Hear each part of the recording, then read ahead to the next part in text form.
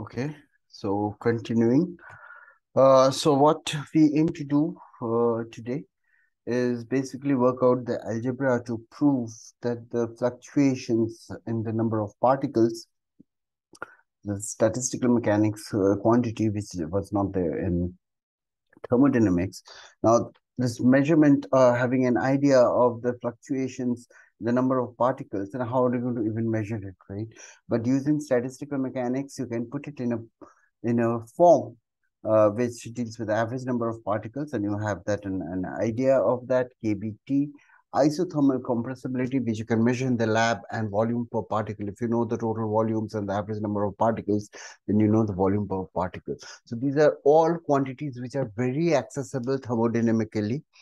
And the point of showing this derivation is that this statistical quantity n square by n average square uh, can be written down uh, in such a form which is easily accessible. So you know in your room, if you know your kappa and V by N and KBT, of course, an average number of particles, even if you if you suppose you use your ideal gas, and you know what is the value of N square minus N average in your, your room, right? Uh, to do so, so now it's a bit of algebra and it's taken from Huang, uh, section 7.374.4, something like that. Uh, just to remind you that in Huang, uh, they use E for the free energy, uh, for writing the free energy. And the canonical partition function uh, is, is typed as capital Q in Huang in case I you read it and I encourage you to read it absolutely. So the first thing we are going to show um, as we proceed towards this expression is n square minus n average square can be written as z del del z which is the same as 1 upon uh, del del beta mu. Yeah, so like del del beta mu is the same as z del del z. Um, so you can write it as z del del z, z, z del del z, which means a double derivative with respect to beta mu. Uh, log of the grand canonical partition function. And showing that is extremely easy uh, because uh, what you have is, um, if you have to calculate n square average, what you would do is take over sum over all possible number of particles, the number of the quantity you want to measure in that particular microstate, which is Ni square. That's the quantity you want to measure. And you're going to sum uh, and that into, so Ni actually, the probability that your system will have Ni particles depends upon fugacity to the power Ni and uh, the canonical partition function with Ni and the denominator is Z grand canonical, right? So this is the most general expression.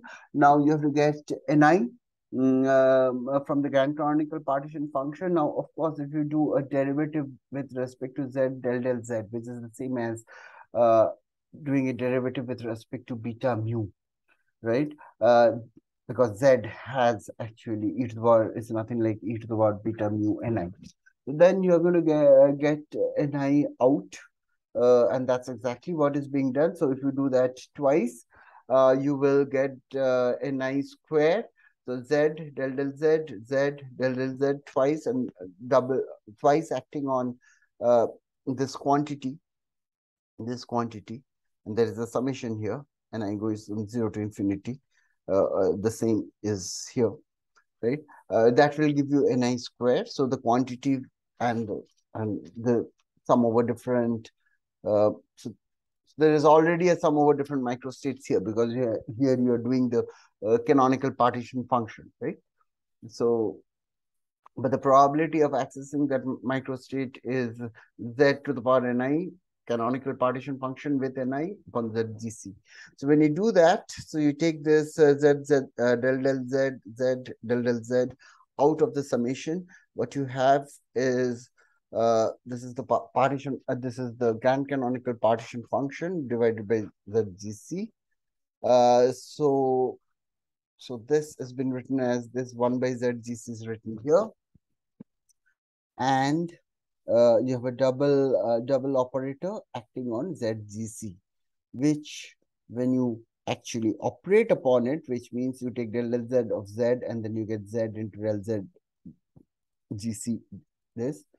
And uh, when del del z operates upon this and z is out, then you have z square z gc and uh, yeah, double derivative of z gc with respect to fugacity. Note here the curly one is this. This one has been made curly to indicate fugacity. Right, so this is uh, e to the power beta mu. Right. So so yeah. So now what we do is actually calculate. So here we showed that n square can be written in this manner. We are aiming to show this. So we start from the right hand side of the equation uh, and actually operate z del del z z del del z upon log of the grand canonical partition function. And if we actually do the differentiation, which means, uh, so if you, if del del z of log this thing is zgc, right, because this is grand canonical partition function, del z gc del z, right, and you basically all that I have done is this operates on once z, once on zgc, and so on and so forth, right? So here you will get two terms. So here z, and this is uh, del del z is operating on this, and 1 by zgc and del z gc del z sits here. Now when this del del z is operating upon these two terms, right? So this is operating on this term here and on this term here. So you get these three different terms. This you can identify as average number of particle because you know what is the average number of particle z del del z of uh, del z gc so that you get twice which is this you associate with n average square and these two terms if you look carefully and you work it out carefully is the same as n squares so these two you identify uh, this you identify this you I, identify. So then you what you get is n square minus n average square is this expression because that's what you showed. But now what is that GC? It is PV by KBT. Right? So this and this I'm writing it as del del beta mu, del del beta mu. And when you operate upon it, right, temperature is fixed, volume uh, uh, uh, is basically you're looking at a system of volume V. So what you get is essentially del 2p del mu 2. So that's what, so, so now your aim is to calculate this. Why? Because we are finally after uh, getting a expression, we are after getting this expression uh, for the fluctuations of particles. So we first got this expression and wrote it down as del 2p del mu chemical potential square, right? So this is what we got. But pressure is a tangible quantity. Now we have to re-express this term in terms of other uh, quantities, right? Because how will you measure chemical potential in an experiment? Well, there might be methods, but can you can you write it in, in terms of even simpler terms? So to do that, we note that the chemical potential is del F del N when the uh, reservoir volume is the entire volume of the system plus reservoir. So V equal to VR VR equal to V if you like. And del F del v is N equal to NR, the total number of particles. So these are the two quantities. Now we are writing the free energy uh, in terms of N particles. Was there, I mean, N particles in the system. And uh, this is the free energy this is the free energy per particle, right? So F is N into free energy per particle. And then this chemical potential can be written as del del N of N into AV. right? And when you operate that, you get AB plus N del A del N. So this is capital N, total number of particles, whereas this is free energy per particle. So instead of that, this you write in terms of del A del V, where V is the volume per particle, and del V del N. Now, this is volume per particle. This is the total number of particles. If you change the total number of particles, how much is the volume per particle going to change? Right? And that you can do this differentiation and that you get as 1 minus, minus 1 by n square by capital V. Right? And this is uh, this is del A del V. How much the free energy change uh, per particle change if you change the volume per particle?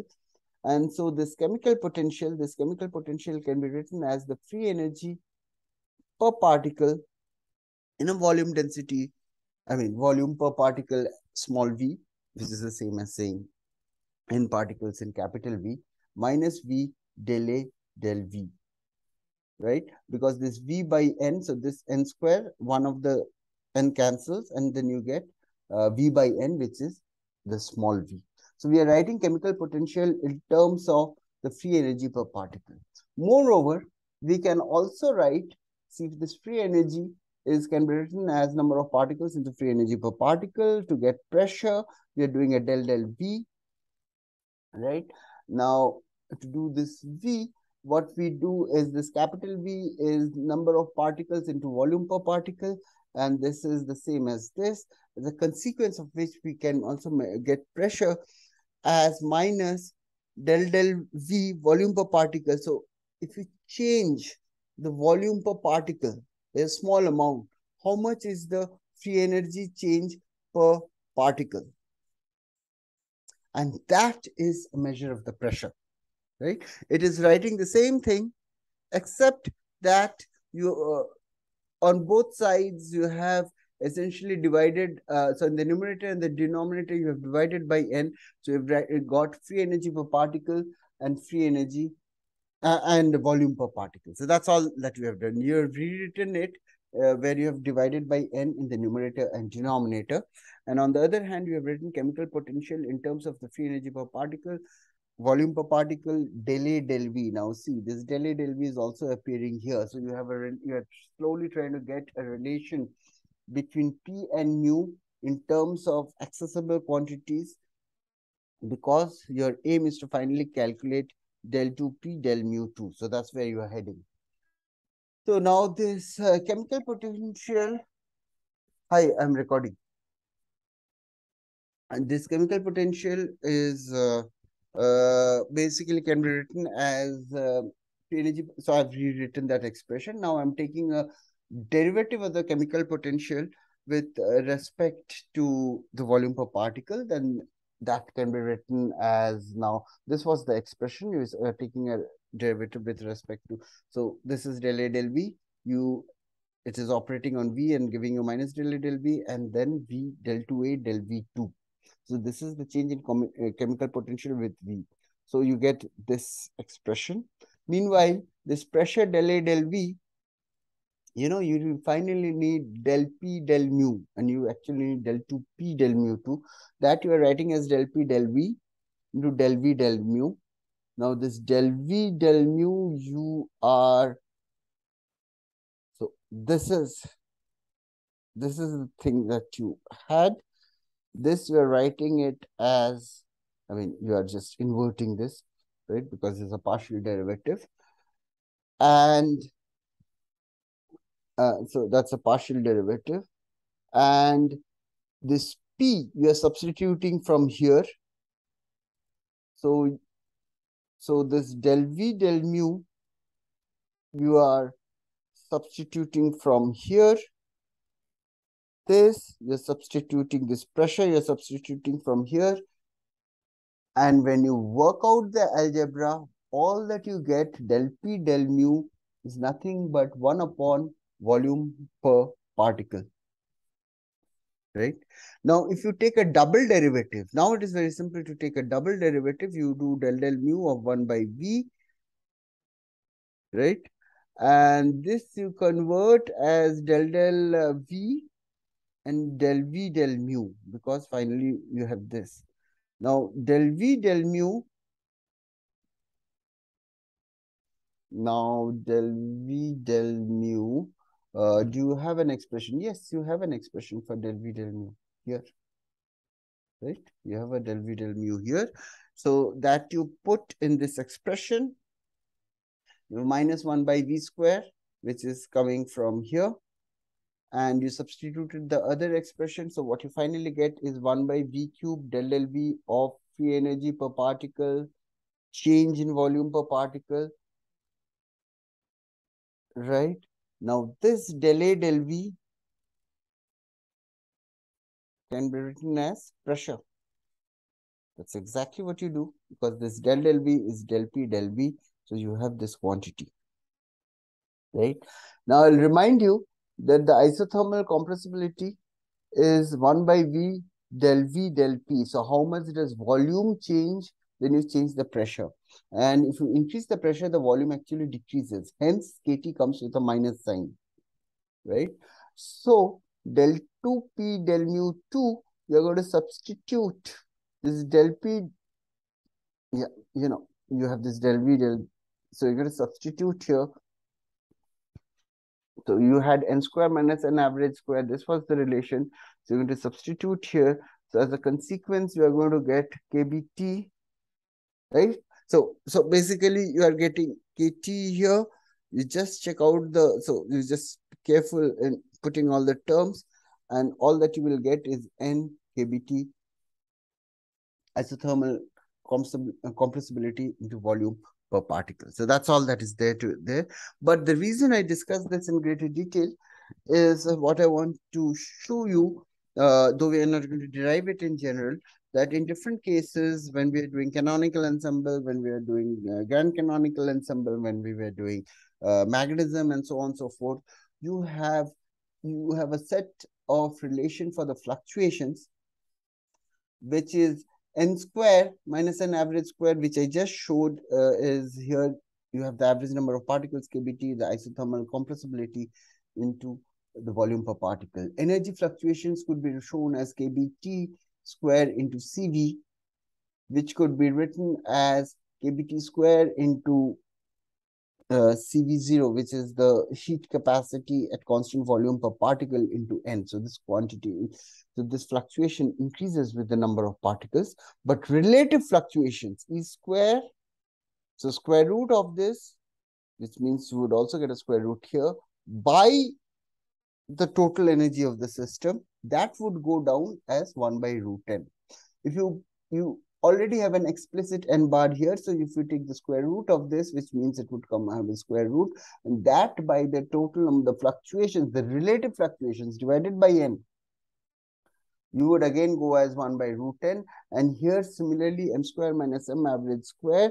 This chi is susceptibility, which is the change in magnetization uh, when you switch on a small magnetic field as B tends to zero, that susceptibility, now if you have more number of particles, you're going to have more value of the magnetization. This quantity itself, again, is proportional to the number of particles. And again, the fluctuations in magnetism and, and magnetic moment divided, uh, so the relative fluctuations divided by M goes as 1 by root n. So that's one thing to take home as that all these fluctuations of various quantities which we had no access to, uh, which we had no access to in uh, thermodynamics. Uh, first of all, they are all going, the fluctuations uh, actually decrease. Oh, sorry, the fluctuations increase with n. Relative fluctuations compared with the base level of the energy of the system, the total number of particles of the system, the magnetization of the system, as you go on increasing the system size, as n increases, the relative fluctuation decreases. The fluctuations increases as n, right? Um, so this is the variance, and SD is a measure uh, of the fluctuation. So that that that increases as n. The other thing I wanted to show um, or wanted to talk about, though it would be proved in the statistical mechanics class, that here these quantities like which are difficult to, I mean, it's you can always calculate it, if you can calculate the grand canonical partition function. But these quantities, fluctuations in different quantities, which are much more difficult to measure, are always re related to a response function. And I will tell you what is the response function. But here you note that n square, And so these fluctuations, n square minus an average square is related to the isothermal compressibility. What is the isothermal compressibility? This is an equilibrium property. On the other hand, here this kT is if we change the pressure, what is the relative change in volume? So there's a 1 by V here, remember? What is the relative change in volume when you change the pressure? That is what is relative. So you're changing something, you're changing an external environment and the response to this of the system to this change in environmental parameter, this is the intrinsic variable P, uh, that quantity is giving you, and of course, N bar and KBT is giving you a measure of the fluctuations of the system. Similarly here, CV. So this is calculated at a fixed temperature. You have an system in equilibrium and you're calculating its energy fluctuations. But that is related in terms of kBT square into CV. And what is CV? You are changing a system parameter, to temperature. That's again an intrinsic qu quantity.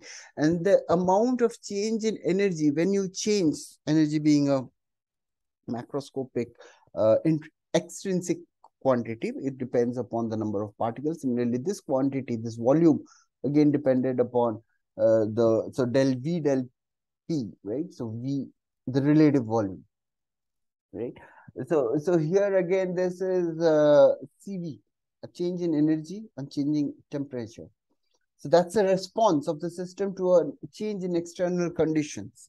And similarly, here m square minus m average square is related to del m del b, that which is the susceptibility. What is susceptibility? You change. So this is calculated in abs this is calculated in absence of magnetic field. There's a fluctuation of magnetism in equilibrium of a system. But here, that fluctuation is related. So when you are changing the external B field of the system, you switch on a small B field. And what is the change in magnetization? So if you can measure that, if you can calculate susceptibility, if you can measure susceptibility, then you are having an access to a microscopic quantity, which is m square minus m average square.